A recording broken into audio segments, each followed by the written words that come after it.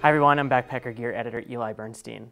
And a lot of the times when you're hiking through icy or snowy terrain, especially if it gets steep, you're going to want to want some traction that normal boots usually can't provide. Uh, and that's where crampons come in. Uh, and today we're going to talk about the different type of, types of crampons and what they're good for. On the low end of the technical spectrum, uh, you have micro spikes. Now you've probably seen these a lot on the trail. Um, they are very low profile. They ball up to a little bit bigger than a fist. You can just, you know, pack them if you're unsure of conditions. They're not going to take up a lot of uh, space and weight.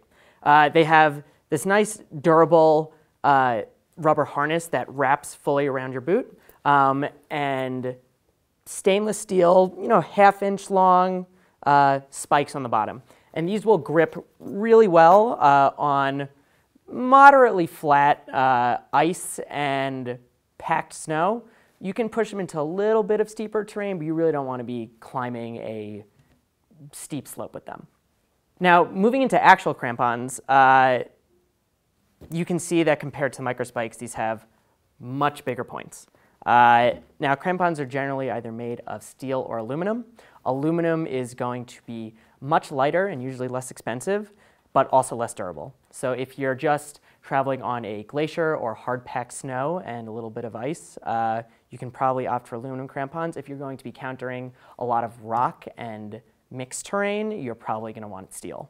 Now, crampons can attach to your footwear in three different ways. Um, the first way, which we have on this boot, is called a strap-on crampon.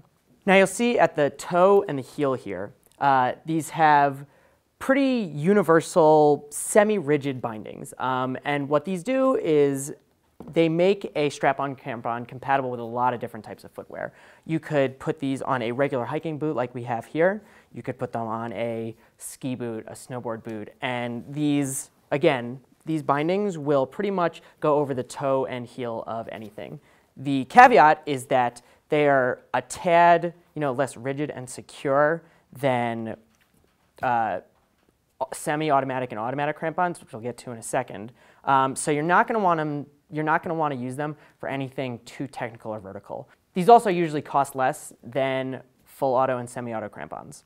Now I should say before we get into the other types of crampons that for all these crampons, not micro spikes though, you'll want a boot that has a pretty rigid sole. You know, when you either engage the front points or are walking on pretty vertical terrain, you're not going to want your boot to flex too much with your steps because that will sort of negate the balance and confidence that you have in your footing when you're wearing crampons. Now the second type of crampon is called a hybrid or semi-automatic crampon. It has a toe binding just like a full step-in crampon, but has a heel bail at the back. Now you'll see uh, this mechanism right here attaches onto what is called a welt at the back of this boot. And you can ratchet in the tightness where when you put this uh, bail down, this will really not budge and uses its pressure against the welt to hold this really solid. And you'll just tighten the toe binding as you would in a full step-in crampon. Now you can only use this type of crampon with a boot that has that back heel welt, but you do not need a toe welt that you'll find in some mountaineering boots. So this is less versatile than a full, than a full step-in crampon, but still pretty versatile on its own. And the last and most technical type of crampon is a fully automatic or step-in crampon.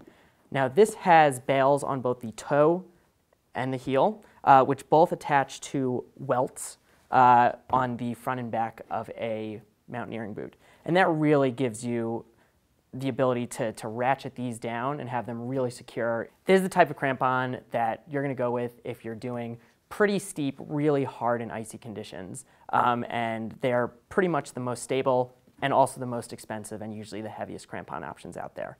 So between these four options, short of doing anything like vertical ice or mixed climbing, you should be prepared for whatever the mountain throws at you.